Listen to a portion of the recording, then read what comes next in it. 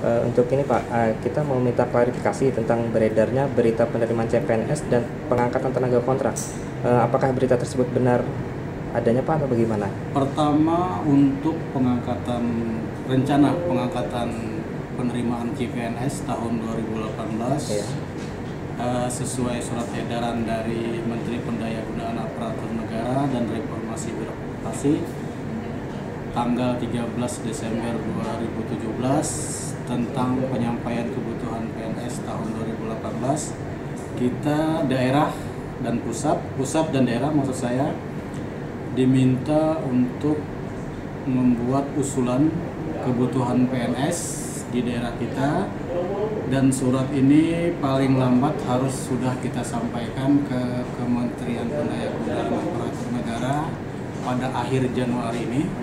Dan pada saat ini kita sudah menyiapkan kebutuhan formasi untuk Kabupaten Kota Waringin Barat berdasarkan usulan-usulan dari dinas-dinas terkait kecamatan sampai kelurahan Eh, sampai saat ini sedang divalidasi berapa kebutuhan formasi untuk kabupaten tahun eh, Kabupaten Kota Waringin Barat tahun 2018. Kemudian untuk eh, dari BKN juga kita ada disampaikan surat tentang inventarisasi sarana dan prasarana untuk kesiapan penerimaan CPNS tahun 2018 Ins- Alhamdulillah bahwa kita Kabupaten Kota Waringin Barat untuk sarana dan prasarana dan juga anggaran sudah disiapkan untuk pelaksanaan penerimaan CPNS ini. Misalnya kita sudah punya sarana CAT komputer asistes yang pengadaan beberapa tahun yang lalu dan ini sudah siap kita laksanakan.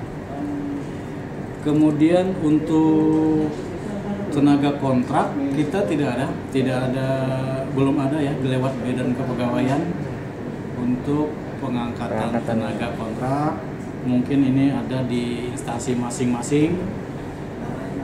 Belum ada disampaikan usulan ini disampaikan ke badan kepegawaian sampai saat ini ya khusus tenaga kontrak seperti itu kondisinya kemudian Eh, yang berarti beredarnya berita penerimaan CPNS dan pengangkatan tenaga kontrak itu hoax atau gimana Pak? Kalau untuk CPNS Ya. itu sampai hari ini insya Allah memang ada. Nah, ada ya. Ya, tapi kalau untuk pengangkatan tenaga kontrak itu seperti yang saya sampaikan tadi itu adanya di unit kerja masing-masing.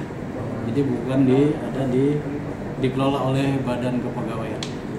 Ini sesuai juga dengan eh, dengan peraturan pemerintah nomor 58 tahun 2016 tentang pengangkatan tenaga honor menjadi PNS bahwa ada pasal di situ menyatakan untuk saat ini kita belum diperkenankan sebenarnya untuk mengangkat tenaga kontrak secara apa ya secara besar gitu ya Jadi dicari tenaga kontrak itu berdasarkan kebutuhan dinas masing-masing oke Kemarin kemarin itu ada beredar berita eh, tentang pengangkatan itu Pak di media sosial tentang ada surat dari Kemenpan gitu ya. Ah iya, ya. itu ada kesalahan baca mungkin. Oh, gitu. Itu untuk formasi tahun 2017 Oh. itu pengangkatan khusus dari tenaga kesehatan khusus untuk kita 25 orang. Itu ada dari PTT, dokter dan ada bidan.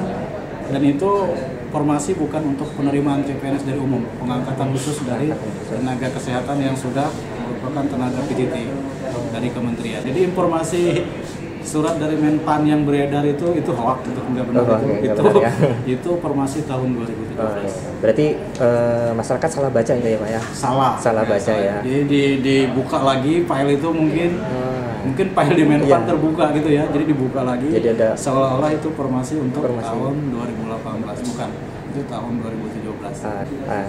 ini Pak eh, himbauannya Pak kepada masyarakat yang sudah membaca Hmm. eh, berita tersebut tentang penerimaan CPNS di Kombar, di Kobar dan himbauannya Bapak kepada tenaga kontrak atau honor tentang berita pengangkatan tenaga kontrak ini Pak. Iya.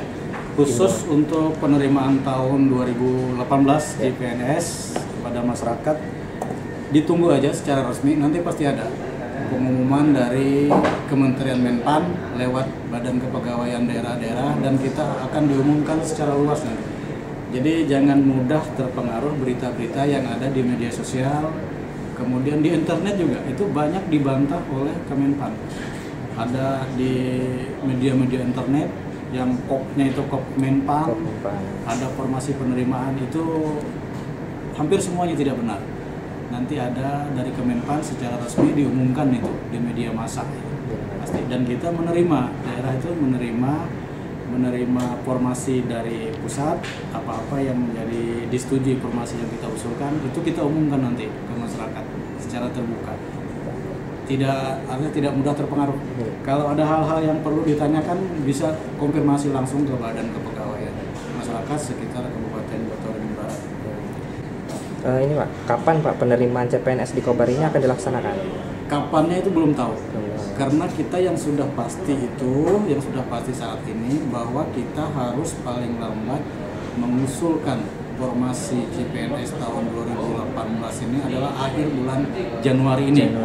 Jadi itu dulu yang kita sampaikan.